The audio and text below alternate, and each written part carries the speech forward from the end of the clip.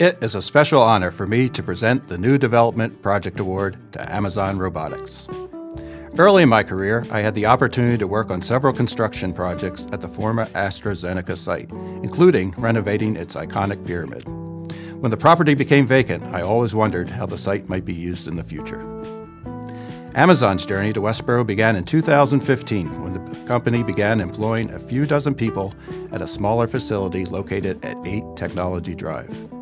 After an exhaustive search for a suitable site to build a new manufacturing technology hub, the Amazon Robotics team chose to expand their presence in Westborough and repurpose the former AstraZeneca property at 50 Otis Street.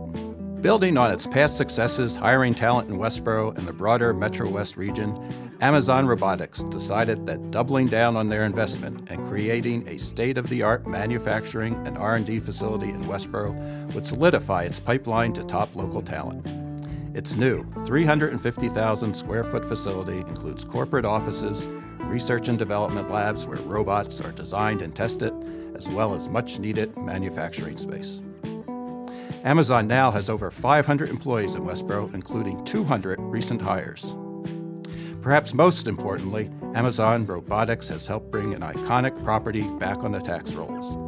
As you may know, the 50 Otis Street site had been vacant since AstraZeneca closed its doors in 2015. Before leaving Westborough, AstraZeneca had been the town of Westborough's top taxpayer and employed nearly 200 people so the town of Westborough was severely impacted when the Westborough facility closed. Ultimately, Amazon Robotics invested over $40 million to revitalize that property with its new robotics innovation hub, and the business continues to invest in our community. For these reasons, the Westborough EDC is very pleased to present the New Development Project Award to Amazon Robotics.